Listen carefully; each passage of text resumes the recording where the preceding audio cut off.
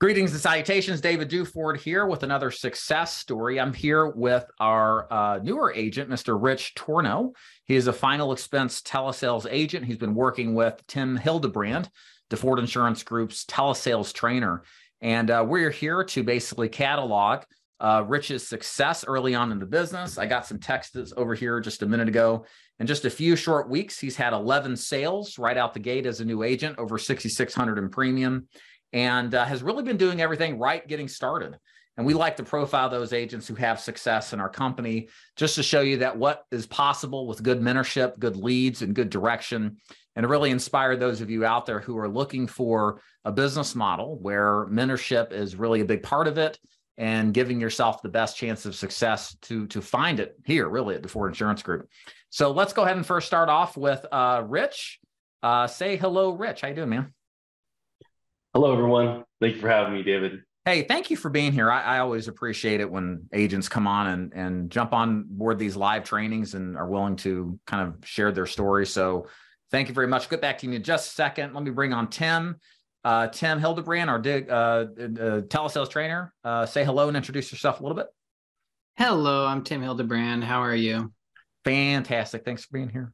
All right. So, Rich, come back on. Tell us a little bit about yourself how you ended up here in the wonderful world of insurance sales and um, why you're with Duford Insurance Group.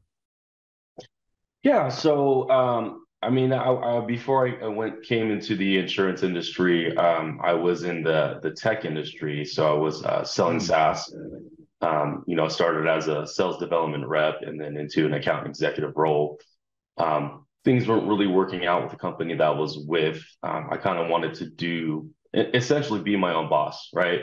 Um, I always had an entrepreneur spirit. I just needed to find the right vehicle. Um, I had my insurance license probably back in 2010, 2011. Um, I was with an MLM company, so I had to deal with all that MLM stuff. So w- it wasn't for me, which really kind of like dimmed me down about, you know, kind of like turned me away from life insurance right. in general. But I still, I still saw it as a, you know, a I have life insurance. I always felt that, you know, life insurance is very necessary. So um, you know, fast forward uh, ten over ten years, you know, I was I was I came across one of your one of your videos, uh, one of your you know your YouTube. I was following you. I was you know kind of just you know seeing what you were about, and uh, what really struck me was the uh, uh, webinar that you made about making five hundred thousand dollars a year within you know first you know one to five years. Um, you know, you know, selling final expense insurance and a combination of Medicare Advantage. So um, that really, you know, prompt me to want to say, you know what, there's more, probably more to this. You know, you said that the, the, senior industry is a is a very big industry. You know, had all the facts there, so it's like it wasn't hard for me to to to want to to to make a decision to try and, pursue that career. Um, I, I so I, I, you know I I I onboarded back in in February with uh, Duford Group. Before that, I was with another IMO that you know honestly just we weren't aligned with with uh, with selling five months. It was just uh they were pushing something totally different. You know, right. kind of just that you know what I need to go where I need to go. So you know I wound up in with with Duford and, and Insurance Group from mid February of last year, uh, and then so I, I officially started you know uh, making calls and, and, and, and going through that whole, you know, telesales process, probably mainly toward the end of February, beginning of, of, of March. And it's up this year, right? Of this year, yes. Yeah. Okay. Okay. So, perfect. Okay. Yeah. 2023. yeah. Yeah. Making sure that I, I figured that was okay. So I want to make sure. I, I want to hit on a couple of things here. Um, you know, I, I see a lot of talk and hype on YouTube. Maybe it's just me because I'm a geek for YouTube, but there's a lot of influencers in the in the SaaS spaces, and that's uh, software as a service, right? So there's a lot of these influencers that sell, you know, this product and it's it can be a host of different things. Can you do a comparison between what your experience has been in the SaaS world and maybe been a long time ago versus what it's like to sell insurance? I just think it would be good to have a comparison. Um, so people who are watching this later, maybe who are looking at that can kind of have a more sober analysis between both.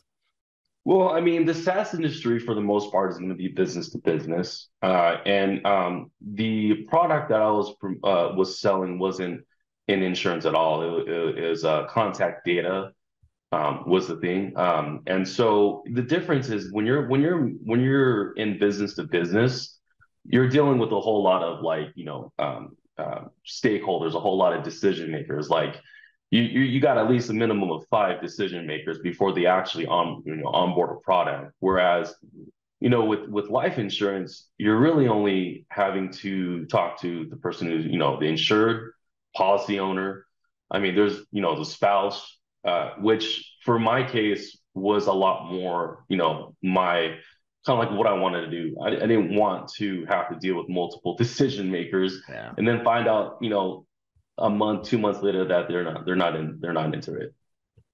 Uh, yes. SaaS industry is, so, is a software as a service. There it uh, is. Right. For example, Zoom is a software um, that we're using to you know that they offer for businesses to use. Yeah, so like like a Salesforce, it's a, a corporate Correct. CRM uh, a guy I roll with jiu-jitsu, he reps them and he'll go into companies and, you know, they do CRM work, but it's enormous organizations, right? So it's very, it's a mm-hmm. slow, it's a longer sales cycle, big money when the deal hits, but a lot of stakeholders involved. So yeah, so it's, it's I, I, the one thing I think to take from that is final expense is way simpler. a lot more as closing simpler. goes, right?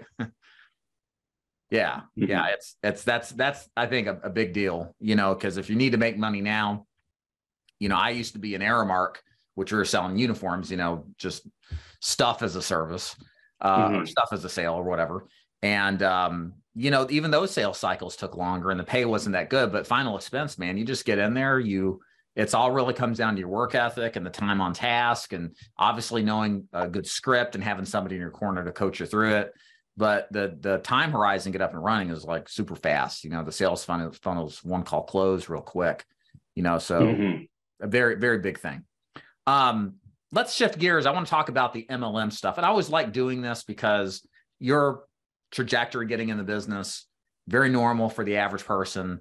And people find out about this after the fact. It's usually not before the fact. They find out after. Why does this company talk about recruiting constantly? or you know um, why are they doing all the hoopla and the kool-aid? And it's just you know you just find out after and it puts a bad taste in people's mouths. So i always feel a big part of it for me is i need to make you all aware out there that there is mlm uh, it is a pernicious force. It's not a force for good. Uh, it causes a lot of failure. And um, a lot of people leave this wonderful business jaded before they have a real opportunity. So can you kind of speak on you know like what MLM looked like to you? Like, what were you running into that were like red flags? Kind of think of this audience as like if they're brand new to the business, kind of a share your experience. So maybe at the worst case, they can avoid it altogether. Yeah. So I mean, with with multi-level marketing companies, uh, whatever product you're selling, it, it, even if it is you know a, a good product, the the in in most cases they're gonna they're gonna push you more to recruit people to share this information, you know, with people. That's how they that's how they, you know, pronounce it, you know. Um, but the problem is, is that you know there's only so many people that you can share this information to, and and at the end of the day, you wind up ruining the relationship of having to try and, and recruit people or share the information with people when realistically, you know, when you come into the business, especially selling life insurance, like you you should the only thing that should be on your mind is you know, pushing the product, helping people. Um, as far as recruiting, like if you're not, in my opinion, if if you can't show me that you know how to produce, like why am I going to follow you? Right. So, yeah, I mean, go go ahead. Yeah. And so in MLM, you know, you you you're in there, you're just like, you know, like, what am I doing? Am I producing or am I recruiting? It's like, and you're you're you're pulled in so many different directions. Where for me, like I just want to sell a, a product, like I want to pr- promote a good product. So um, I didn't like that, and you know, just just my my upline was just you know it just it just started getting really really frustrating. So I just said, you know what, I'm I'm I'm done. I'm I don't want to I don't want to do this anymore. Yeah, and and that's how most agents leave, you know, because that's that's the experience they have. It's entirely unprofessional. It's not about what you originally thought it was, which is helping people. It turns into some recruiting scheme. And lo and behold, before you know it, the only people making money are at the top of the food chain because they're they're either getting your friends and family to sell them. Some of these places don't even offer you a cut of the action in exchange for access to your friends and family. Um, one particular organization sells leads that are really just basically data that are acquired at pennies on the dollar, but sold for like 10, 11 dollars each, and they're recycled over and over. And they're like, oh, they say they're not, and they make millions of dollars a week just on the recycling of that. So they use the insurance as a way to inspire you, but then push their leads to you to buy. And that's where they make their money. And uh, you're as much of the product and as the target as you would think the clients that we sell insurance to be. You know, and these are the features of MLMs. I say all this because you obviously know this. I'm not telling you anything new, Rich. But for those of you out there who are brand new to the insurance business, please watch out, especially in the life insurance business. I would wager that four out of five, three out of four agencies total uh, that you run into are an MLM scheme. And they're going to operate in this way of heavy recruitment focus, selling you junk leads that are really just a cash cow for the company. And they just believe in the shotgun method of cycling the stuff over and over and over again. So just, uh, and like Steve says here, they tell you recruiting is more important than selling. Well, if that was true, how would anybody make any friggin' money? So it's like, well, they sell you leads, they sell you this other stuff. You know, they ask you to attend events and charge out the nose for them. And there's a way to monetize you. And that's the thing you got to be aware of that a lot of people aren't. If, if there's one message you take from that, have your guard up, guys, uh, in the life insurance business, because that's a very common feature. And there's other scams that organizations do that um, we can get into a later date. And I've talked about extensively, but it's business is great, but you got to really be careful who you do business with. So let's talk about telesales, Rich. You know, that's you could also sell final expense either face to face or over the phone, but you chose the telesales route. Can you give the audience your reasoning why you opted to sell over the phone as opposed to in person? Yeah. So, I mean, I mean, personally, I, I, I, you know, I, I, I just want to be able to, you know, just have the comforts of being in an office, you know, kind of working remotely, um, not having go to go like all, all over, all over the city, you know, just to do business. I mean, that's just like my, like what I prefer. Um, I mean, I chose telesales because I really have essentially a background. I came from like SaaS, so we cold called every single day. We were we were booking appointments every single day for the account executive. And then when I became an account executive, you know, which is basically the closer, the one that actually makes the sale, you know, I was I was I was getting appointments set for me. So um, essentially just just going into the to life insurance um, and and being a telesales um, you know agent that just made for me it was just a good fit um, for what I've already was experiencing or my prior experience. Yeah, so you already had the stuff. You've already been through it. You've been if you can do cold calling, man, you can call leads. You know, that's a that's a big step up, I'm sure. So, and, and I mention that because what we do at Duford Insurance Group, we support both strategies either exclusively face to face or exclusively telesales. And what y'all should do if you're wondering which route should I go, which is best, it's kind of like what Rich said in so many words. He he followed what his strengths were. He already had the baseline of experience in telesales, so it just makes sense to go the telesales route. Um, in his gut, probably I was speaking for Rich, but I say it probably said, yeah, I probably should do telesales. Likewise, if you're in that position, follow your instincts. If you're just more of a face to face person, there's a lot of business opportunity. There's an influencer right now that's putting out content that's saying tell face to face is awkward. It's weird. People don't want you over because of COVID. It's it's uh, it's not even true. It's not true, and uh, it's a great model. But it, and the thing is, is I'm not the Satan. I hear obviously saying face to face is best and telesale sucks. It's not an honest depiction. There's opportunity with both of those. But what you need to do is figure out who you are through a process of vetting and, and due diligence to figure out which process is best for you. Because some people should be telesales. They shouldn't go in front of people. Likewise, the inverse could be true.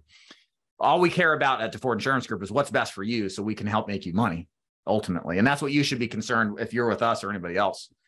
Uh, and and then finding that one thing that your strengths lie in. So um, I'm going to bring Tim in here. And Tim, one of the things that we changed up at the beginning of the year in January is that I went from kind of a entrepreneurially focused agent model of recruiting, good training, but not a lot of hands-on to we've entirely inverted what we've done. We have great training from self-study material, but the big difference now in what we do is mentorship oriented. Every agent that Duford Insurance Group or every agent that joins Duford Insurance Group gets one-on-one mentorship twice a day opportunities for role playing script development. And, and I, I feel like a broken record saying this, but it's been game changing. The amount of agents that are successful, the amount of agents that are writing business versus what we used to do. It's it's it's amazing. I'd like you to talk, kind of talk about a little bit what's that training like for people who may not be familiar with our model, and and kind of relate how Rich followed that process. Kind of, if you could take him through it, and how agents can expect to get from us if they went through it. Yeah, primarily success is going to come from the agent's sort of prior experience, but also their willingness to be um, open to the training and adjust what they're doing just because we're telling you. Like, we're not telling you anything that's not golden. We're not testing things out on you. We're telling you tried and true things that if you will do them, you will be successful. Um, any one of our coaches will tell you, and even Dave will tell you just flat out if you do what we say, you will be successful. It's really difficult not to be successful if you're complying with the training, especially when I'm one on one with you and I'm giving you direct feedback on exactly what you know you're sort of lacking or your weakness is there, and you can pick it up. So to Rich's credit, Rich was one of those um, special folks who was willing to really engage and listen and do what was put in front of him. He totally understands that coming from his life experience. He knows he needs to have that to go the right direction as quickly as possible instead of trying to pick it up on his own as he gets there. Um, so to me, that's been the biggest, the biggest um, indicator. Your sales experience, plus you know, spending the full time like Rich is to blast it out, but also mainly he could do all those things and still fail if he just wasn't kind of receptive or humble to receive the new information. To me, that's the biggest thing that yeah. we're seeing. Rich, can you comment on kind of what your experience has been like with Tim as your mentor? Because I, I, think it's just most agents don't have this in other organizations. They don't have anybody to talk to. Very few people return their their phone calls. Very frustrating experience. Can you kind of talk about like the value that you've gotten out of the mentorship program, please? Yeah, it's uh, it's an it's it was amazing. I mean, honestly, I, I came into uh Duford Insurance and I said, you know what, like I tried selling final expense um with this prior IMO who didn't have the coaching that I was looking for, didn't have the one-on-one that I was looking for. Um, and so coming into this, yeah, like I had some some background, I had you know sales experience. You know, I went through some training, some some sales training, but I, I told myself like I need to empty myself of what I know and just listen to this man. And so um, I, I came in there. I said, you know, I, I said, you know, whatever, whatever Tim you want me to do. If you want me to, you know, hop on one leg while I'm doing the script, I'll do it. You know, like like whatever whatever needs to happen so I can have the success that you were having. I'm gonna do it. And so um, uh, I, I I I I went in. I, I looked at the script. Um, I practiced the script. Uh, and and you know when I when I was making my dials, making my calls, I'm I'm staying as close to the script as possible. Are there going to be instances where you know like it, it just comes off just a natural flow of conversation where like it just it veers off the script? Like yeah, that's going to happen. But like this the the script was really Im- important to me because what I was doing with my script prior to this wasn't working, right? And so when I when I implemented the script, when I took the coaching, when I listened to Tim um, that's when the sales started coming in. That's when when you know what we say like we want we want people who are um, you know easy sells. You know uh, to come in they're they're you know they're, it was an easy sell. But realistically, if you implement the script, if you implement the coaching, like everything becomes a natural easy sell, right?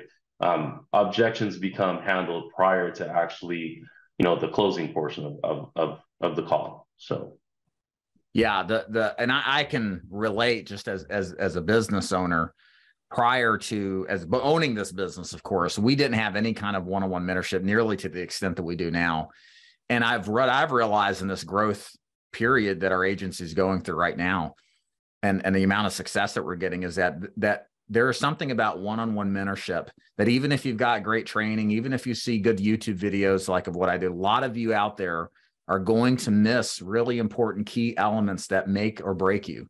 Sometimes it's not something that's like completely brand new that makes a difference. It's the execution of a small little thing that you've taken for granted or you've, you know, really haven't thought twice about, and somebody holding you accountable to that process. And that's why mentorship has been such a winner for us. And I, I can't stop talking about how awesome it's been because I've seen the other side And our training was great before we went into the mentorship model. But what was missing was that one-on-one element that just clears the the the the slate. It answers the questions. It keeps you accountable, and it makes such a huge dramatic difference. And uh, I just can't. Uh, it's just unbelievable the results.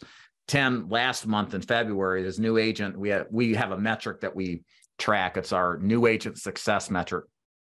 And what that measures is for the month, how many agents who joined, went through the mentorship gauntlet week where we go into detail on training, coaching, one-on-one, et cetera, and buy leads like they should, and then sell that first week. How many are actually selling? And we're at 80%. That's incredible. On the face to face side, we're at 95% for the month of February. And the reason that's powerful is because 95% of agents fail the business. It's crazy. But that's the power of a well tuned, focused amount of training that, frankly, this business is really just deprived of. A lot of agents are.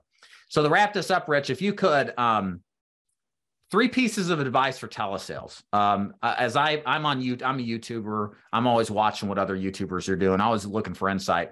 The content on telesales brings in the most views because people are and uh, they're they're curious about it, but they're also uh, aware that you know it's tougher and people are looking for answers and you've had great success out the gate. Can you please explain to us kind of like give us like two or three tips that really make it for you as far as your success in telesales that you would tell somebody who's brand new?